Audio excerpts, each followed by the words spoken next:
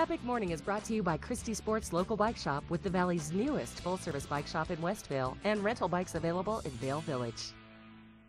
Finally made it. We're up here at the top of the Beaver Lake Trail where it joins up with the Village to Village Trail. And you know you've made it when you see the Larkspur Lift right behind you, as well as Grouse Mountain and Birds of Prey there in the background. The ski area opens up in 99 days and that will be covered with snow. But right now it's still very lush and green, especially because we had a lot of rain last night.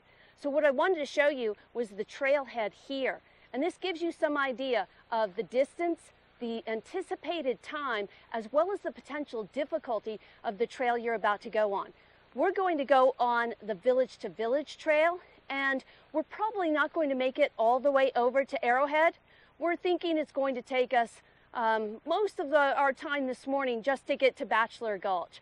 But one of the things I wanted to show you was our preparation for this morning's hike and some of the things that we brought along just in case. So some of the things you can see here are hiking poles. These really drastically improve your ability in particular to go downhill. Right now it's very cloudy outside, but we still brought the sunscreen and both of us still put our sunscreen on.